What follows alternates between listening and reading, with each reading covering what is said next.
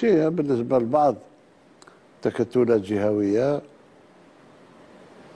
مشات. اليوم راه الدعوة القوي يزداد قوة والضعيف يزداد ضعف. مثلا تكتلات؟ في أمريكا اللاتينية. أمريكا اللاتينية كذلك تاعهم الاتحاد الإفريقي بدا يتميع. تمية بدا يدخل في متاهات اللي ماهيش تاع إفريقيا. مثلا؟ امتداد الصراعات نتاع الأقوياء في العالم. هذه كلها ماهيش أمور فلسفية ولكن لازم إعادة النظر فيها إذا بغينا عالم يكون عالم تاع سلم وتاع تنمية ويحافظ على الضعيف مثل ما يحافظ على القوي. نظرية. إحنا نناضلوا من أجل هذا الشيء. زير تيوب أول قناة إلكترونية. في الجزائر.